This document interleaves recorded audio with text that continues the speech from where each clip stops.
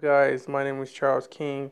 In this video I'm going to be giving you guys a little trick to fix uh, auto disconnection of Wi-Fi on your phone and this really this method really really works for me and I believe it should work for you too.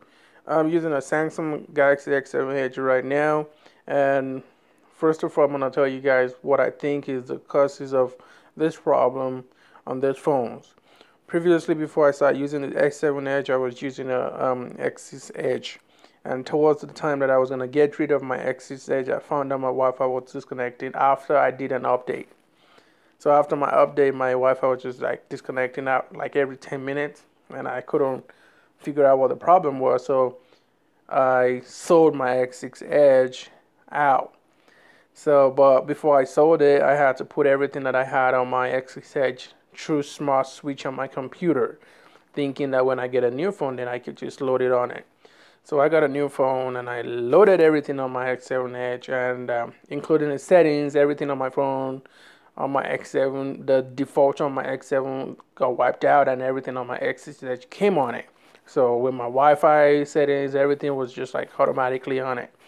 So, but unfortunately, doing that, I found out I already put a settings on my S6 Edge on my S7 Edge. Now the same problem I was facing on my S6 Edge was still going on on my S7 Edge. I was having a Wi-Fi disconnection every 10 minutes. So if I, if I like, if I, whenever I'm playing game, uh, feel like oh it's always disconnecting and reconnecting, disconnecting and reconnecting.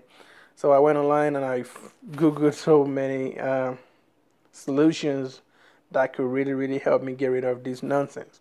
So majority majority of the stuff that I read online suggested that I should do a factory reset. But doing a factory reset will automatically wipe off everything on my phone. But after I do it back, then I'm still gonna have to reload it, like my contact and everything. Then it's just like, what about if the same thing is still happening to me? So I just uh, try to find a little trick uh, to go besides that. So then I went online and I went on the phone actually on the phone settings and I was about to do a factory reset on the phone settings and I went to settings then I went to backup and reset. So from backup and reset I was gonna click on factory data reset. Then I was like, wait a minute, there is reset network settings. Why don't I try that first and see what happens? Then I click on that after I click on resetting reset settings, then everything on my Wi-Fi, everything that has to do with my Bluetooth and my my my, my mobile data, everything wiped off.